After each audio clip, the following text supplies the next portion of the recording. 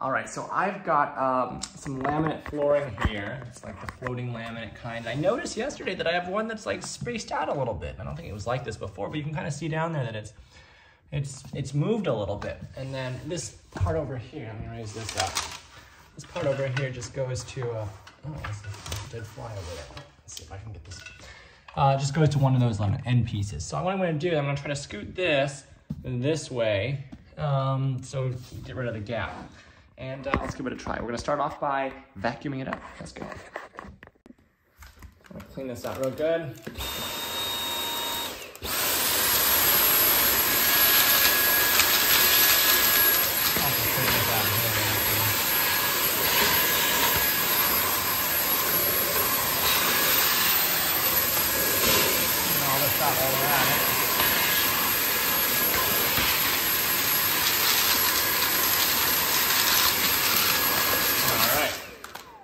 now what I'm gonna do is I'm gonna take a little piece of uh, tape and hopefully this isn't gonna take off any of the top here. So I get a little piece of tape. And I'm just gonna do it this way because what I'm gonna do is I'm going to kind of just hammer it to the side. So you can kind of see it here. And you got the gap there. I'm gonna kind of take this and then go, oh, hold this down, see if this works. It seems to actually be working. It moved a little bit. Um, let's get another piece though. What's happening is this tape is actually ripping, so let's try this again.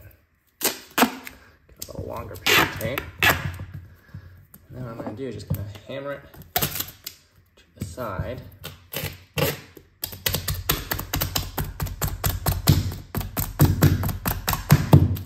And it's actually moving You can kind of see it moving closer together here. So this isn't the best way of doing it probably, but this is the way I'm gonna do it. Let's see if it might be better to take a little piece and then hold it with my hand and not hit my finger. Let's try that.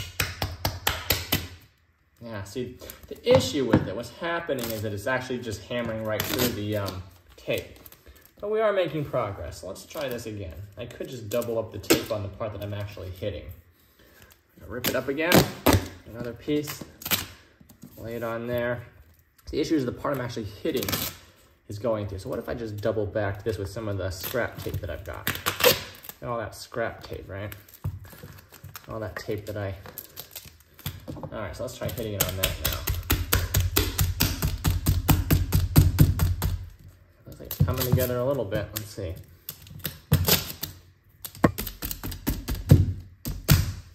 And that ripped off. Let's try.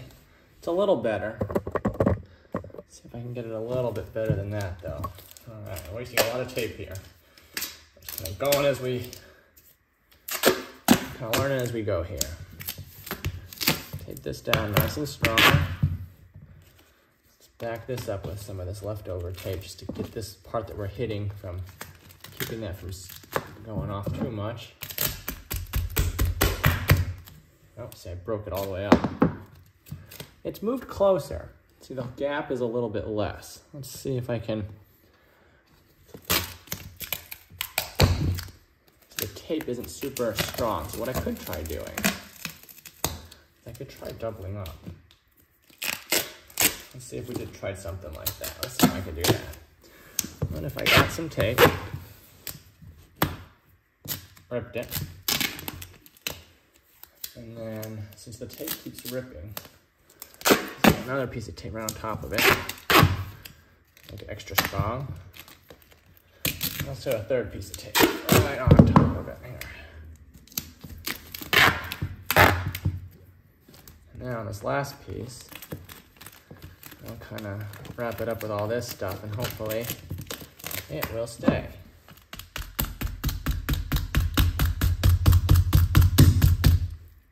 Look at that, close together.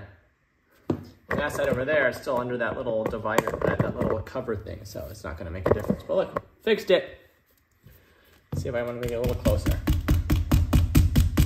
I'm basically just using this as leverage and uh, push it together. Look, all done. Fixed it up. Now I can take this off carefully I don't want to like peel off any of the, uh, I don't know, just ruin the floors in any way, but there we go. All right, good. See, the gap is gone. Mission accomplished.